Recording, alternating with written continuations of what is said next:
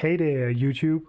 Today I want to talk about the most repetitive game in the world. Elite Hey, wait, no. I mean, Spider-Man. No, no, not that either. I mean, The Last of Us. Wait, no, well, was it Red Dead Redemption? Was it Grand Theft Auto? Okay, let's just talk about repetitive gameplay in general, because there isn't any game that's not repetitive.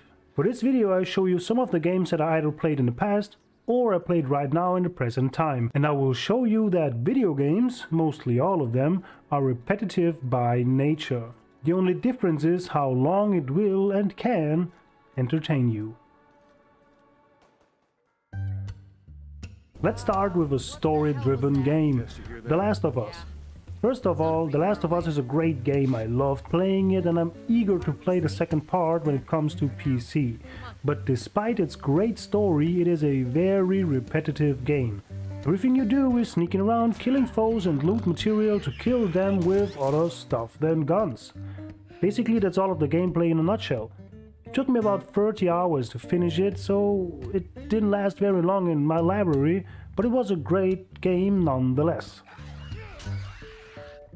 For me, it doesn't have any replayability, because the story can't change. Every twist, every emotional breakdown and all the surprises are already experienced and there is nothing that can surprise me anymore, so the repetitive aspect of this game is kind of unseen because you don't play it for that long, but still, it's repetitive.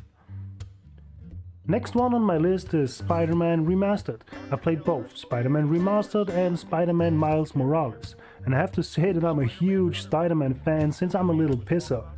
What I loved about the game the most was webbing around the city. I did that for no reason, just because I liked it. But it is, as you expected, a very repetitive game. Basically all you do is either webbing around or beat up bad guys. Getting all the collectibles counts as webbing around, at least that's how I see it. I finished the game in about 45-ish hours. The story is, well, a superhero saves the day, so a normal superhero story. Nothing too fancy, but okay enough to watch the cutscenes. Another game I really enjoyed to play was Red Dead Redemption. With a playtime of about 90 hours, this Wild West adventure in open world with a good story of betrayal kept me on the screen a bit longer than the previous games in this video. Well, it's an open world and there is a lot of time to waste when you just enjoy the views of the different biomes. But gameplay wise, very repetitive. Riding horses, shooty shooty bad guys and that's basically it. You can do other stuff and there are some puzzles, mysteries to solve and hey, you can play poker.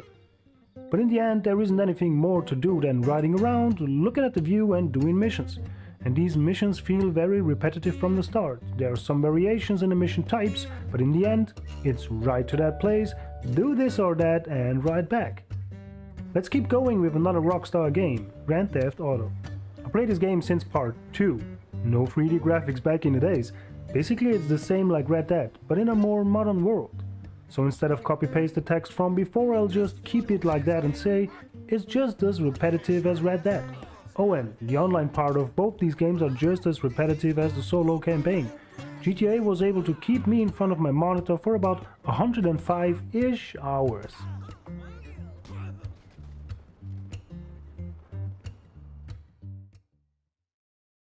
A very successful game with a great player base is DayZ. I don't know how many hours I played that game, but it must be some thousand hours, at least two and a half. Basically all you do is trying to survive. It got a very good survival mechanics, you need to eat, drink, protect yourself from the cold, yada yada. But in the end you will either die from starvation, an infection, or another player kills you and then you start at new. That's basically it.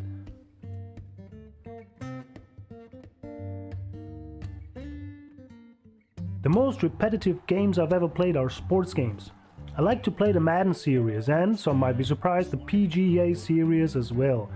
I guess I don't have to tell anybody why these games are the most repetitive games of all. I mean, all you do is that one thing. In my case, either throw a ball in the stadium or on a golf course.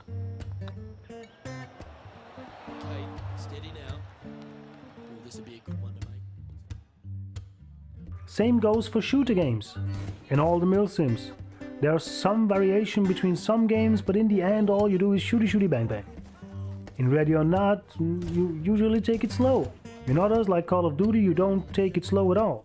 But in the end, it's all about shooting all day long. By the way, the story of Call of Duty Modern Warfare just took me about 4 hours to complete.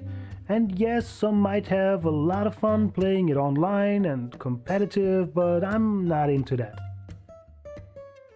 But what do I want to say with all that? Games in general are repetitive. It doesn't matter what game, even puzzle games are repetitive. Maybe there are a shit ton of different puzzles, but all of them are puzzles, so all you do is solving puzzles. Or simulator games like Car Mechanic Simulator. Maybe there are a shit ton of different cars and another shit ton of different parts to repair, but all you do is, wait for it, screwing around. Taking parts away and taking other or newer parts back on. We play games because we like to do all these things. Some just love to ride around the scenery of Red Dead. Some of us like to drive around in Los Santos or webbing around New York.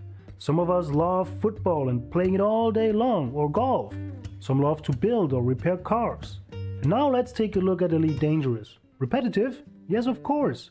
Just as repetitive as every other game. And it doesn't matter what you do in Elite. If it is hauling, exploring, or combat. The big difference and question at the same time is how long are you playing this repetitive game? Or how long can you play this repetitive game? Besides, the whole space lag thing brought a complete new dimension into the game, whether you like it or not. Frontier brought something new into its repetitive game. So after thousands of hours, you were able to break free from its repetitiveness and do something completely new. Say what you want, but I don't see spaceships and an explorable galaxy coming for Grand Theft Auto, or an open world expansion to explore for The Last of Us. I guess I made it very clear what I wanted to say here. Complaining about Elite being repetitive is just as stupid as complaining about that the world is spinning in the same direction for the last 4.6 billion years.